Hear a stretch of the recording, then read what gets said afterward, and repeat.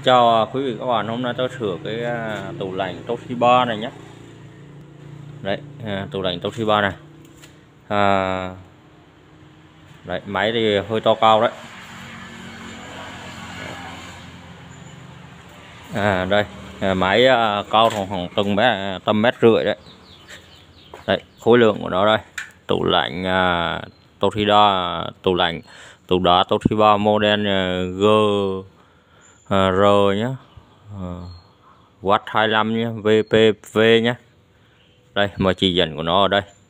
À, sơ đồ của nó ở đây. Nói chung là đấy.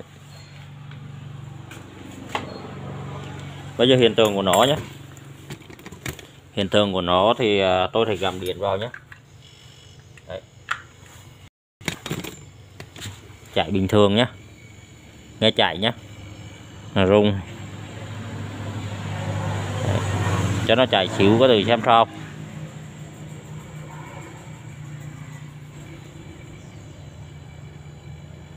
chạy các bạn. Chạy nhưng không nghe nóng được gì lốc cả vào hai bên thành có từ xem sao ống à, đường đi. Đây. Còn đây đường về này.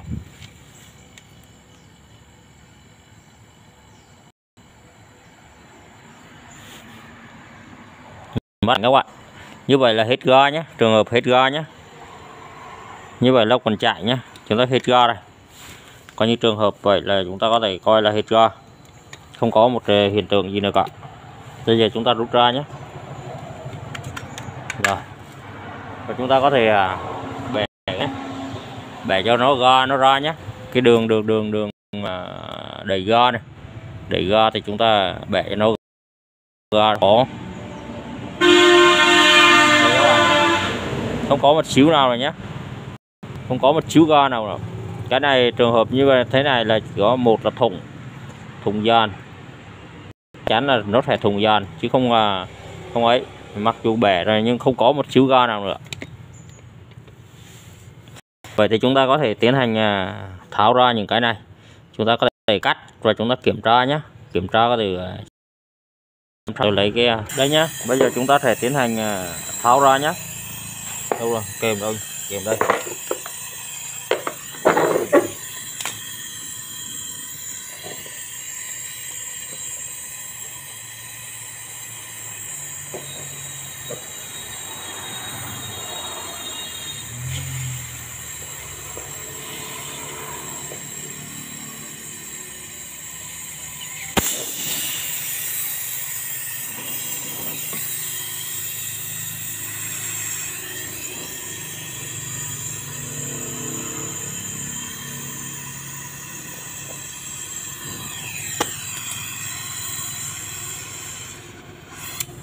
Ui da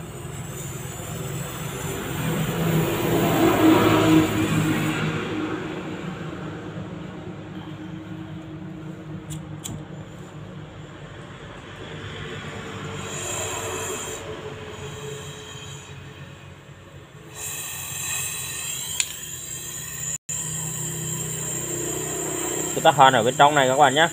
À, chúng ta muốn ấy chúng ta ở bên trong cái hơi cái nóng ở bên trong này này. Chúng ta đừng à, ở bên ngoài này. Để cho nó ra hết nhé.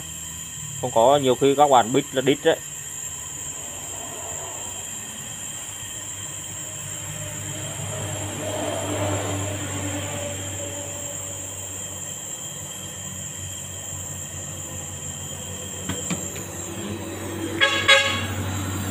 bây giờ cái này chúng ta chuyển sang người phía bên này.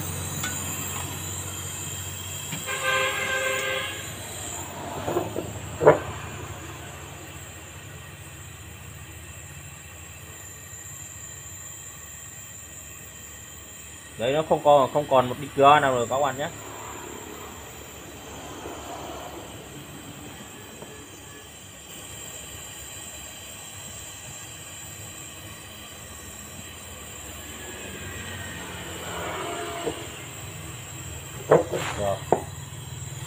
Nó ra hết rồi đây còn cái nào nữa không rồi bây giờ đây là chúng ta tháo hết rồi nhá bây giờ chúng ta là dùng cái này nhá để mà thử cái khí ở bên trong này nhá có thử cái con con con đâu thùng gian nào thùng dàn nóng hay thùng dàn lạnh nhé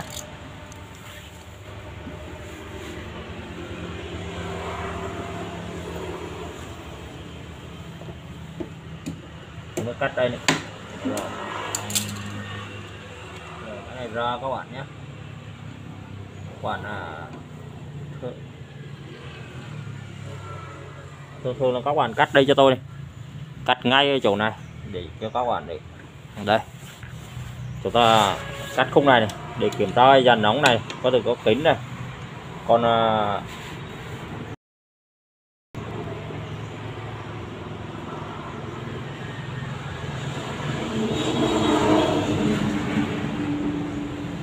đấy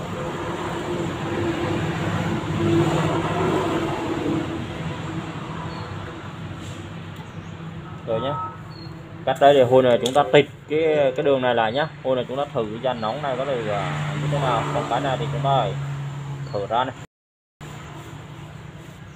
Thở ra. Đấy.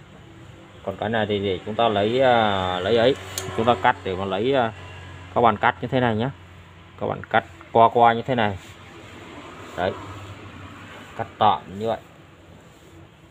Rồi chúng ta bẻ nhé về để cho nó lôi cái ờ, cái lỗ nó ra nhé đấy, rồi, nó lôi cái lỗ này thì các bạn thấy cái lỗ của nó. Đấy, cho nên bây giờ chúng ta phải hàn đầu này, chúng ta đẩy có được cái lựa cái cái cái cái xem từ tắt tắt tắt cọp này không này? Nếu không tắt cọp thì chúng ta tiến hành ờ, ấy. Bây giờ chúng ta, đây, chúng ta thực hiện hàn những cái mũi này lại nhé để mà lấy thử ống hoặc này khác nhá bây giờ chúng ta hoàn ờ, điểm điểm điểm này nhé.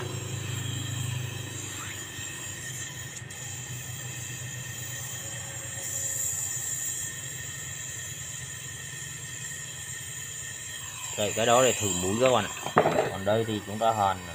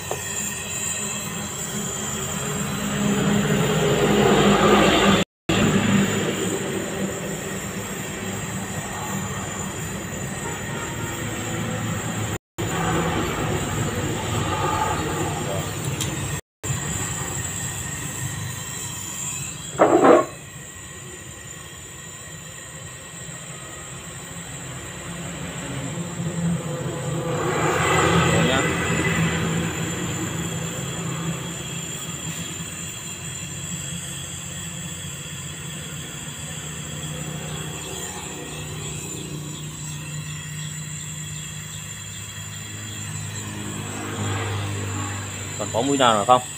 Hết rồi các bạn nhé. Mới mũi đấy hết rồi nhé. Rồi, bây giờ chúng ta phải tiến hành à, thử khí nhé. Đây cái đồng hồ các bạn nhé. Bây giờ chúng ta phải thử độ kính của lốc nhé. Bây giờ chúng ta ở bên này nhé. Dây đỏ này nhé. Đây. Dây đỏ này, để chúng ta thử độ kính của lốc. Đây. Chúng ta đẩy vào cái à, từ cái bình này từ từ lốc ra chúng ta thử kiểm tra để cái lốc có thể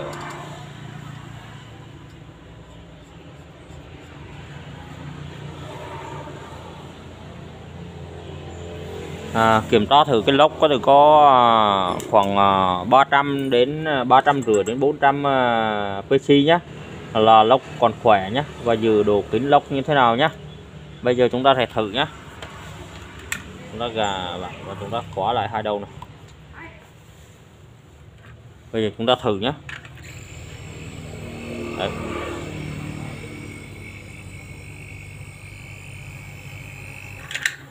ui không biết đâu nhỉ đâu nhỉ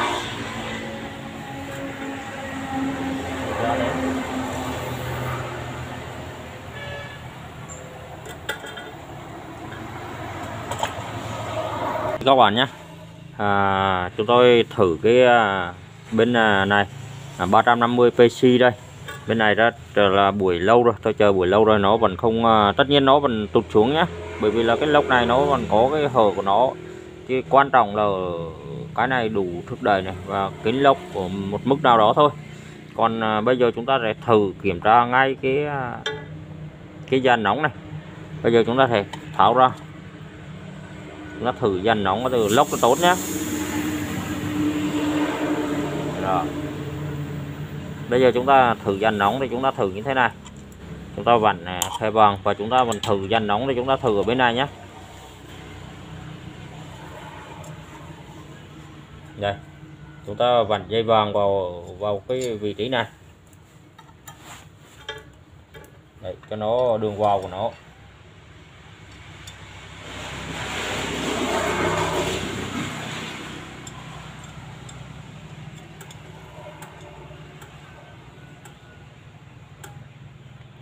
Rồi còn à, dây đỏ thì chúng ta vặn về phía của cái à, dàn nóng nhé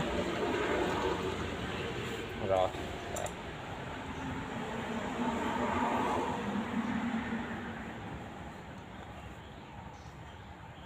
Đấy đây là các cái bước trước khi chúng ta thử dàn nhé bây giờ chúng ta phải tiến hành à, vặn đóng bên này. Và chúng ta mở bên này và chúng ta thể cho lốc chạy. Ừ. Chúng ta thử ờ, 300 đến 350 PC nhé thì chúng ta đóng lại nhé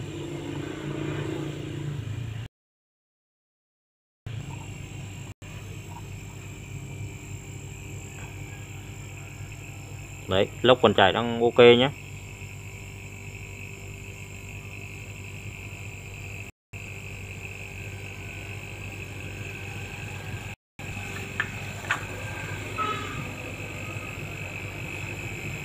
Thôi chúng ta cho đến đấy nhé ta bỏ nhé rồi. Rồi. Bây giờ chúng ta phải khóa lại. Và khóa chặt những cái này lại nhé để chúng ta kiểm tra coi cái à, PC này có bị tụt này nhiều lúc nó tụt là nó nó bị dàn nóng các bạn nhé nếu nó tụt, nó bị dàn nóng nhé nếu nó không tụt thì nó bị dàn lạnh nhé bây giờ để chúng ta kiểm tra thì xem thử như thế nào để cho nó ổn định một xíu đã. Tất nhiên nó vẫn đang còn à, chưa không khí chưa ấy. Chúng ta phải tiến hành để đấy khoảng à, 15 phút. Có thừa à. cho nó để thế nhé.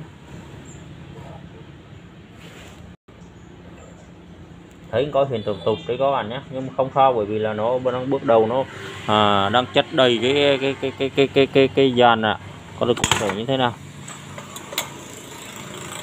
Đây. nó tụt nó đến đây nhé đây các bạn nhé chưa đến nhé rồi chúng ta phải tiến hành kiểm tra.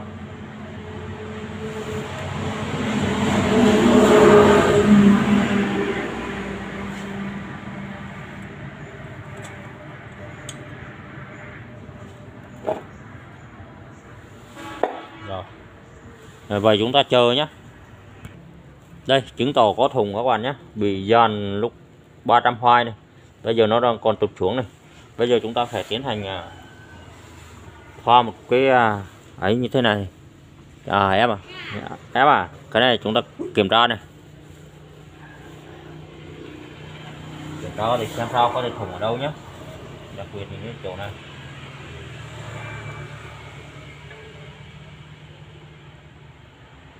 Đây do thủng do nên à, thủng à, không phải là ấy.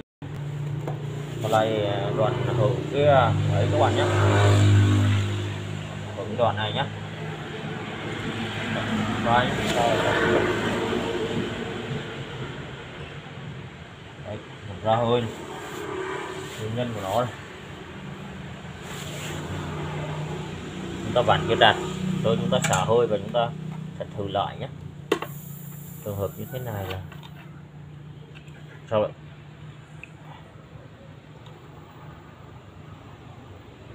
Thủng được nha ờ, sau này hộ được nha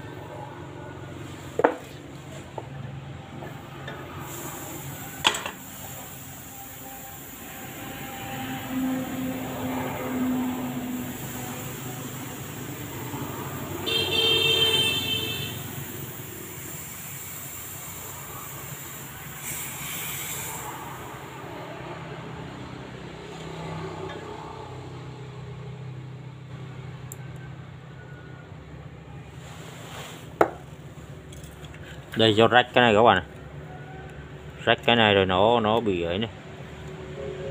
Đấy, các bạn thấy không? Cái này bị rách nhé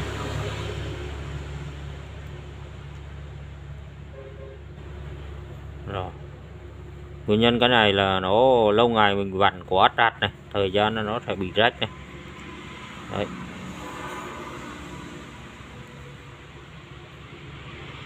Cho nên là nó bị khỉ ra đây. Đấy đây là cái à, quan trọng nhé nhiều lúc chúng ta không à, để ý nhé đây nhá chúng tôi thường áp dụng lấy cái à, vòng ở bên trong cái này các bạn. Đây bây giờ nó sẽ ấy.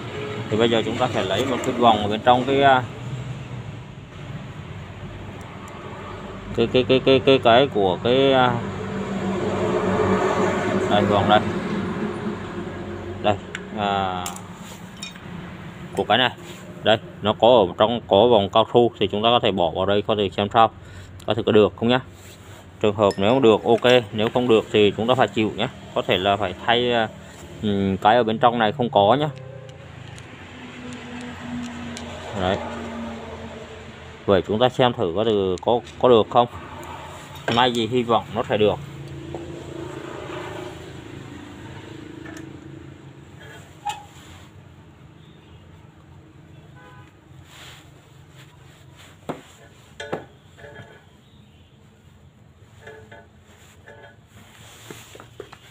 Giờ chúng ta phải vặn cho chặt những cái này các thể xem sao.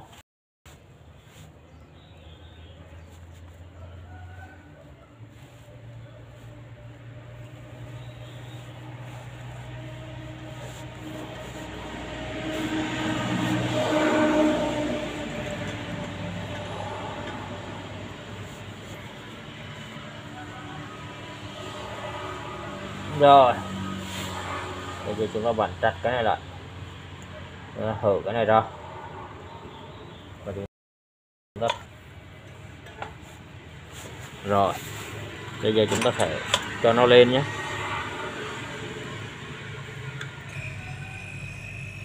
Đấy. chúng ta kiểm tra có thể xem sao hồi nữa kết quả như thế nào coi thử có được không? Quan trọng ta khắc phục cái đoạn này có thể có được nhé. Có thể chúng ta bỏ cái đó có hiệu quả không nhé. Mà nếu có hiệu quả thì các bạn áp dụng nhé nếu không có hiệu quả thì các bạn thông cảm nhé. Được các bạn nhé. Nó được nhé. Đây này không ra một xíu nào này. đấy chứng tỏ các bạn bỏ vòng ấy là ok nhé à, thường thường là các bạn thường hay thổi mất cái đó đi. Thổi mất cái bên trong cho nên là nhiều lúc là các bạn không à, không có cái gì để mà thay thế cho nên các bạn lấy cái đó. Đấy nó được này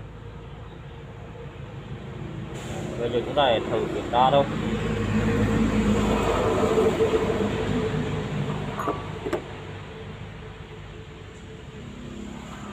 không thủng thôi không thủng.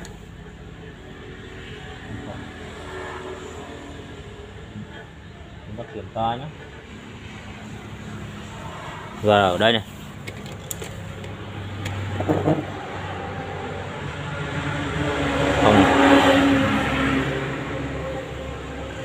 Thùng rồi à?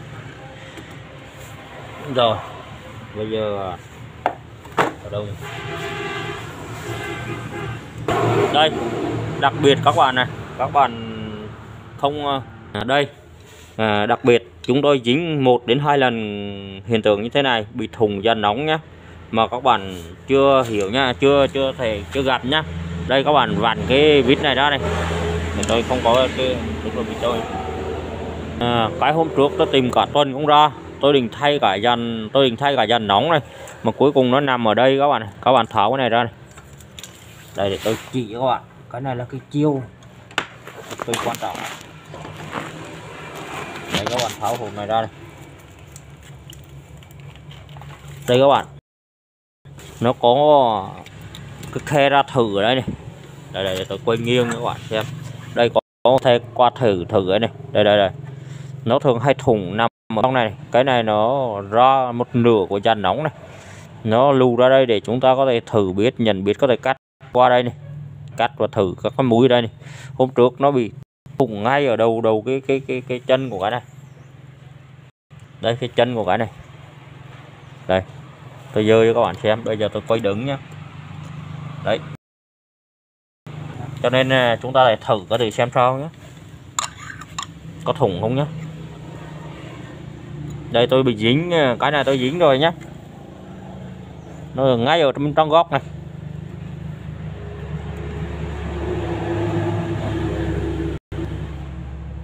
Đây.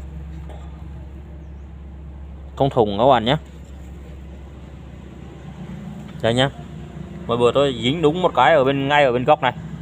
À, là ống sắt nhé cho nên là tôi đã sửa được nhá. Không có thay cả dàn nóng nhá rồi à, đến đây thì video là kiểm tra hết cái dàn nóng rồi. Còn dàn lạnh thì bây giờ chúng ta sẽ kiểm tra dàn lạnh nhé.